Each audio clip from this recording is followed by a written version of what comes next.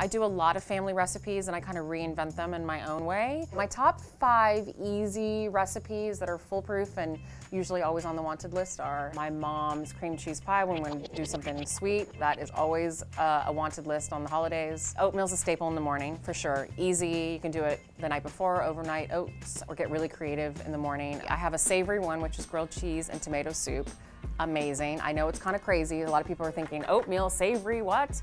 But it's actually really, really good. And then I have my um, double berry crumble, which is amazing, more on the sweeter side. And then my raspberry lemonade, which is kind of a special secret one that I really, really, really love. Harper loves oatmeal as well as my husband. The crowd pleaser is my flatbread pizzas, spaghetti and meatballs, another family recipe super fun. And then my curry chicken salad, probably another favorite of my husband's. I think the kitchen is a special place for, for families. I think it's a special place for any sort of party. It seems like where everybody cultivates. You're in there a lot, probably as much as your bedroom, sleeping, right? Hi, I'm Tiffani Thiessen, and you're watching Us Weekly.